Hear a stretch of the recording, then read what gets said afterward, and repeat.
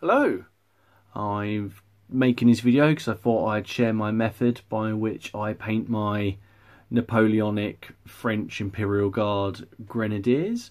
Um, I paint them to a, a tabletop standard and they come out looking something like this. Uh, which I consider, you know, a good tabletop standard. Um, these are by no means going to win any sort of painting competitions, but I'm going to show you a way that I paint these that gets them on the table fairly quickly and lets you deal with large batches of models quickly. So here you can see that we've got a Imperial Guard Grenadier. Now this is a Victrix model. Uh, it's been assembled and it's been primed with the Army Painter Spray Undercoat Ultramarine. So I've just waited for that to dry and I'm just going to take you through the steps that I do to get this guy table ready. So the first thing I'm going to do is now he's been undercoated in ultramarine, I am going to give him an all over wash with a blue shade. I'm just using Vallejo blue shade wash and I've mixed it 50-50 with water and I'm just going to put that all over the model. Okay, so when that wash is dry, the first thing I move on to doing is blocking in the black areas. So I'm going to start by doing the bearskin, uh, the cartridge pouch, his footwear, and also the scabbards uh, on the swords. Yeah, so any black will do. And just very simply, just going to block that in. Get some good coverage on that. Okay, so we've got those areas done. And the next thing that I'm going to paint is the backpack. Now, I do these in a number of different colours and they range from light brown, dark brown, greys and greens. I've chosen to do this one in Vallejo yellow green. And again, I'm just going to this one in. Okay, that's done. So next I'm going to use Vallejo flat flesh and I'm just going to paint the face and the hands.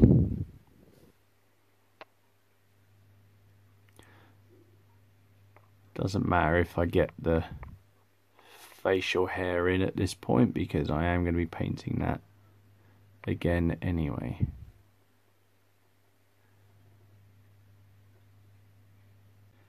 Now, before I go any further ahead with anything else, I've got to do the most awkward part of any Napoleonic model, in my opinion, and that's the uh, the cross belts and the white details um, on on this model. Now, fortunately, this guy's wearing a great coat, so that's limited to the cross belt that you can see here, um, and some of the smaller belts behind, and then um, the bits on the backpack.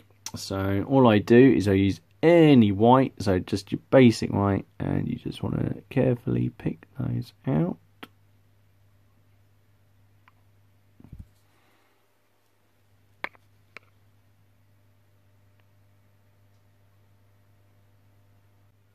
Okay, and those are now done.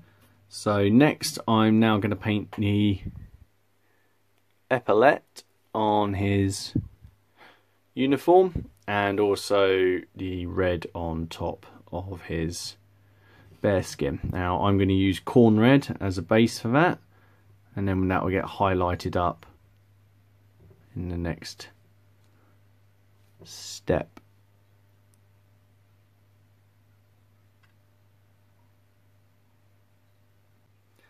Okay, the next step is a very simple one. We're just going to paint the water bottle that's hanging from his belt uh, with a light brown. I'm using Gun Corps Brown from the P3 range.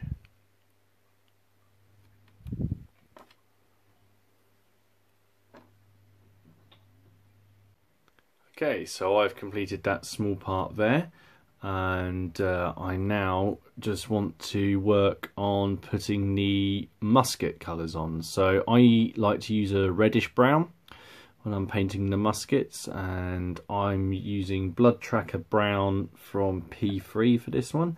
So all I do is just layer it in on the musket. Again, just being careful to try and avoid getting any on the blue. I can correct it if we have to. It's just easier not to have to.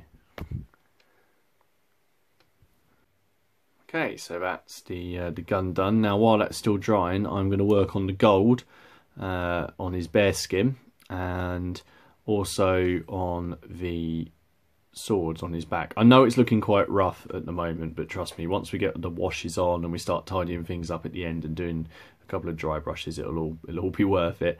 Um, I'm just using Retributor Gold from uh, Games Workshop any dull gold will do, but because we're going to highlight this up with a brighter gold uh, later on. One thing I'm not going to do at this point, I'm not going to work on the buttons on the greatcoat, not yet, and that will come later on.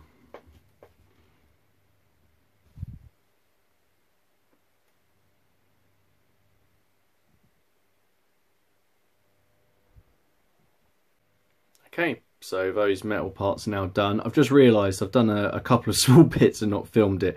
Um, I've done his facial hair um, and his sideburns. I've done those in a light grey, uh, just because what's his old guard. And I've also just done this um, bit of green on the tassel that's hanging from the from the blades. I don't know if that's the correct colour, if that's what they wore, um, but I just picked it. I like it to stand out. Um, now I'm just going to do the gunmetal uh, on here and I'm using a very originally named colour called gunmetal. That's from the Vallejo game colour range and I'm just going to put that up the metal parts of the musket and on the bayonet at the top.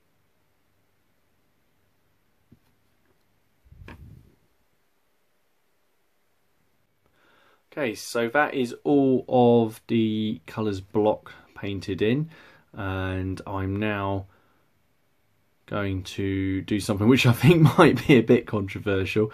I'm now going to wash the entire model uh, with the Citadel Nuln Oil shade um, and this is going to create all our areas of shadow to contrast them and really bring out some details. Now I don't just put this on straight, it's going to be two parts of Nuln Oil to one part of water, so just a two to one mix and we're just going to paint it over the entire model face everything the whole lot. Now, right once that wash is completely dried I'm going to do a very light wash of Reikland flesh shade just over the flesh areas. Just to add a bit of a different tone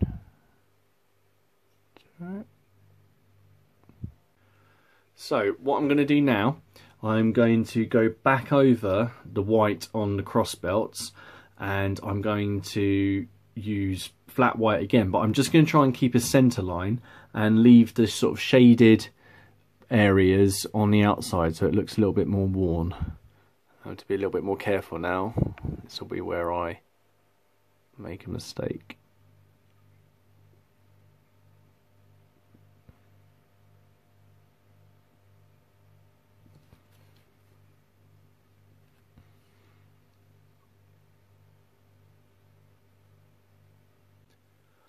While the white is drying, I'm going to use Evil Sunz Scarlet from Games Workshop from Citadel to highlight the epaulets.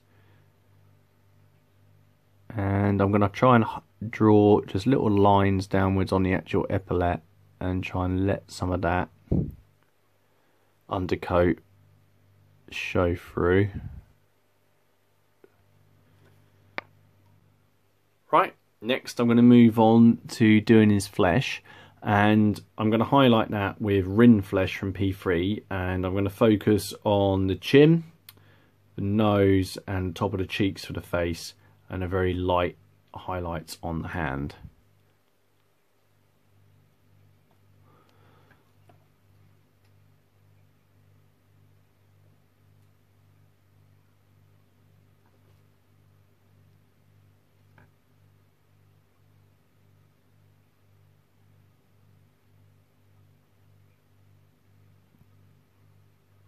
Okay, only a couple of stages left. I'm now going to use a brighter silver colour. I'm using uh, Chrome from the Vallejo Air range and I'm just very simply going to highlight the upper parts of the metallic portions of the musket along the barrel and the flintlock mechanism at the bottom just here.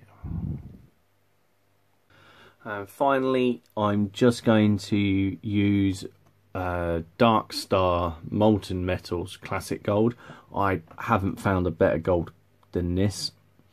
And I'm going to highlight the eagle on top of the plate on his hat. Just give that a little bit more emphasis.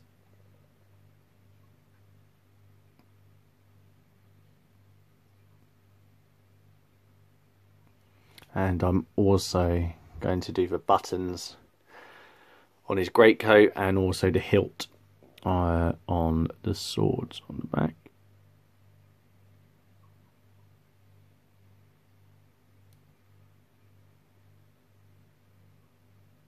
Okay, so now I'm just into one of the final stages, and that's to use uh, Deck Tan from Vallejo to do a dry brush over the entire model.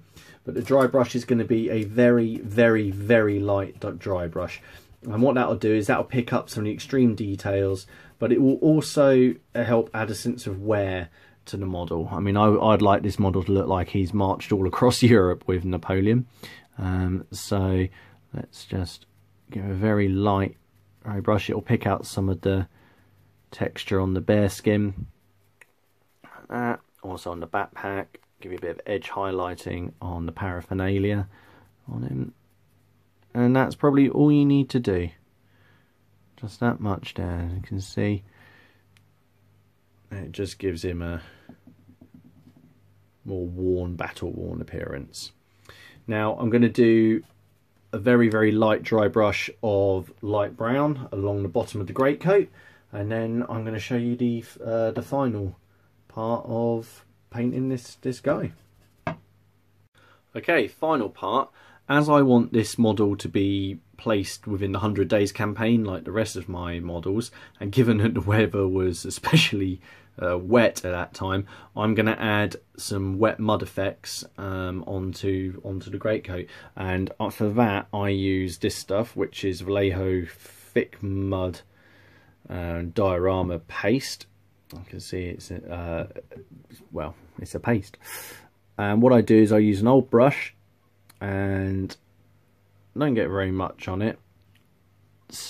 take some of that off, and then I'm going to stipple this all around the bottom of his cloak, and it will just look like he has been trudging through through the mud in Belgium. The great stuff about this um, this paste is that it's got tiny bits of foliage and sort of, uh, sort of like static grass and matter in it. So it, it really sets the model off. You could probably get the same effect with texture paint um, and add your own bits of flock into it, but I really like this stuff. It's it's consistent and one pot has lasted me the best part of uh, three years. Okay, and he is done and dusted. And there we go. I'm pretty pleased. As I say, these aren't isn't sort of an award-winning paint job.